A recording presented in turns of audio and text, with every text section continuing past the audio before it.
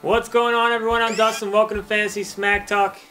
Week four is in the books. The first week of the buys. Let me tell you, it wasn't a good week to own a lot of Broncos and Bengals. It was hard, hard getting through that one, but we're through week four. We're on to week five, and as always, let's take a look at the people you should be adding on the waiver wire. We'll start with the running backs, and I'm going to keep talking about him until he gets picked up in more leagues. But that's Bishop Sankey.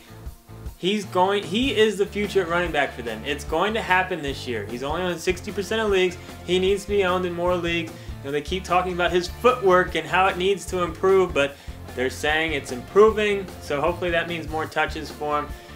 I still think Sankey must add all leagues. Lorenzo Taliaferro, and we talked about him last week.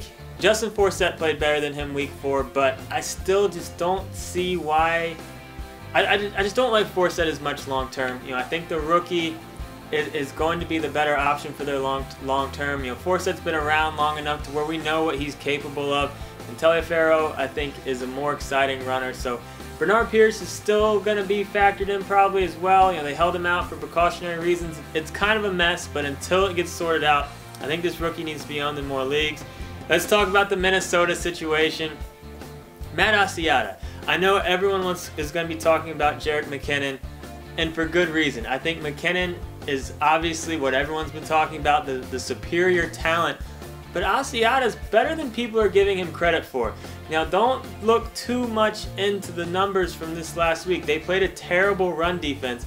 And McKinnon, while it was in very limited touches over the last few weeks, his yards per carry was just as low as Asiata's. So don't go crazy thinking that you know McKinnon's going to be the next big thing, but he needs to be owned in all leagues because it's possible that he could be. But I still see this as kind of a you know thunder and lightning type thing. I, I don't think it's just going to get turned over to McKinnon. I think Asiata is still good enough to be you know part of the the equation there. Maybe like a Fred Jackson, C.J. Spiller type thing. You know where where McKinnon has more fantasy value but Jackson still gets enough touches and probably the goal lines to, to be relevant. So I think both these guys should be owned in all leagues at this point because it doesn't look like AP's coming back anytime soon. And a couple of handcuffs to talk about.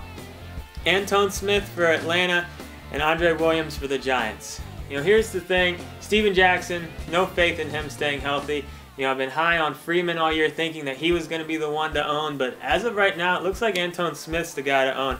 And for Andre Williams, you know, Rashad Jennings is an older running back. He hasn't he hasn't had that many carries in the NFL, but he is a little bit older. And with the workload that he's had so far this year for the Giants, I'm not so sure he's going to last. So Andre Williams is a very high upside handcuff. I think all Steven Jackson owners, all Rashad Jennings owners need to consider adding these guys to their bench.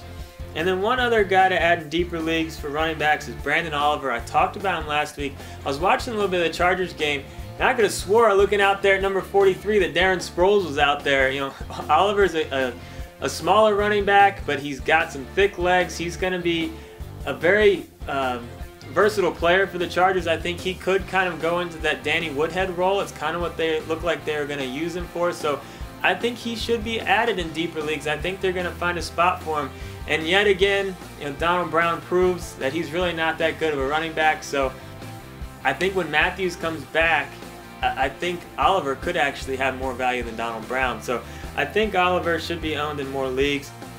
Take a look at wide receivers. We got Brian Quick, only on 45% of leagues. You know, off to an amazing start the first three weeks. Had a bye week four, so I think that's why a lot of people didn't pick him up. But it's time to start picking this guy up. I know he plays for the Rams. I know it's a bad offense, but he's good. He's been good so far. He's been consistently involved all three weeks. He needs to be the more leagues. Eddie Royal's a receiver to look at in deeper leagues. You know, I wanted to talk about him because I know, you know a lot of people are going to think about picking him up. And he should be picked up in a lot of leagues, but don't go crazy over him. It was a little fluky. We know what Eddie Royal can do. We know he has these games from time to time, but he's not someone you're necessarily going to want to count on from week to week. So don't go out there using the number one waiver on Eddie Royal or spending $80 of your FAAB money on him. He is worth picking up, but don't go crazy over him. One quarterback, Teddy Bridgewater. He did get banged up uh, week four, but they're saying they don't think it's that serious. But he looked pretty good. He actually, you know, brought some life into that uh, into that Minnesota offense, and I think Bridgewater, you know, because of what he can do with his legs, I think he can be a serviceable fantasy quarterback. Top 15, top 20 type range, maybe even better. Who knows? But I think he's worth picking up just to see what he can do. Any type of deeper league if you're looking for a high upside QB2. Take a look at some tight ends. You know, a lot of tight end injuries over the last couple of weeks, so there's a lot of teams out there looking for one. Know, Larry Donnell only on 60% of leagues. We all saw what he did Thursday night on Thursday night football, and I don't think it's a fluke. This guy is a beast. And Eli's looking his way. Eli obviously trusts him at this point, especially in the red zone. He's a guy that could have solid value for the rest of the year. Jared Cook's another guy that I think is worth taking a look at. Only on 20% of leagues, kind of same deal with Quick. You know, he had a good week three, and then he had his bye, so I don't think a lot of people picked him up. But he's coming back from the bye, and Cook is serviceable. You know, he's been around for a little bit. He hasn't really had any monster years, but there's he's still young enough to where we may not have seen the best out of him. So I still think there's some upside with Cook. I like him for the rest of the year. And then Clay Harbor is another interesting tight end. You know, he was uh, he made a season debut week week four. He looked pretty good. He got decent amount of targets. Blake Bortles looked his way a decent amount. You know, a lot of times rookie rookie quarterbacks will look at their tight end. You know, if they trust their tight end kind of as a safety valve. Harbor got a decent amount of targets. He's a guy that I like. Couple pick up and play defenses for you. We got New Orleans. Gonna be at home going up against Tampa Bay.